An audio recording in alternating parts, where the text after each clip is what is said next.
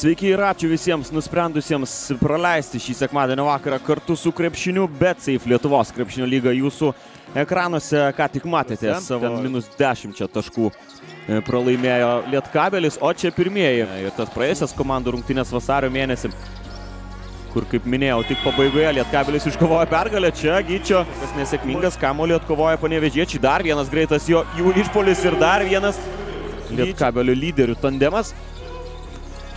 Petrulevičius štai taip apeina Džordžią Gaigičių, du taškai suprato. Tomas Lekūnas sėkmingai darbuojasi gynyboje, o Edgaras Želionis sėkmingai tą daro polime. Du taškai. Turi dar kelias sekundės pieno žvaigždės, Gedraitis, trys taškai su pražanga čia.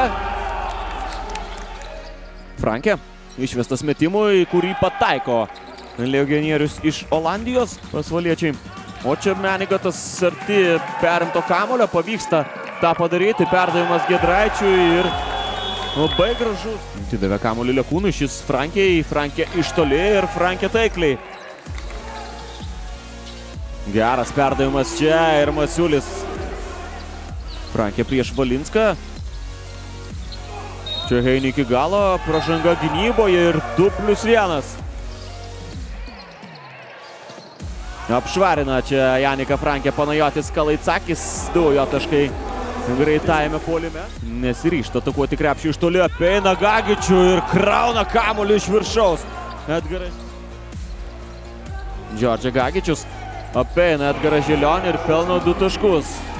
Ilgai be žaidybinės praktikos buvo Normantas, tačiau panašu, jog niekur nebuvo dingęs Normantas. Greit į ataką bėga Lietkabelis, Vinalėsas nepagailėjo čia perdavimo Normantui ir gerai padarė. Trys taškai iš kampo, kuriuos pelno Margeris Normantas. Wow! Kailas Vinalėsas. Ant parketo atsidūrė ten Lekūnas, paliktas už nugaros jis, Gyčia Masiulio dėjai. Vinalėsas. Lengvai apeina Menigatą, tuščias koridorius čia. Stevenas Heini, Tomas Lekūnas per Paulių Valinską pataiko tolimą metimą čia Tomas Lekūnas. Paulius Valinskas, jo verpstė per Janiką Frankę ir atsakas dviem taškais. Kodėl nemetė tritaškio, čia Karolis Gedraitis į greitą ataką. Pabėga Lietkabelis, čia paskutiniosios sekundės ištiksi finalinė sirena 98-90 toks.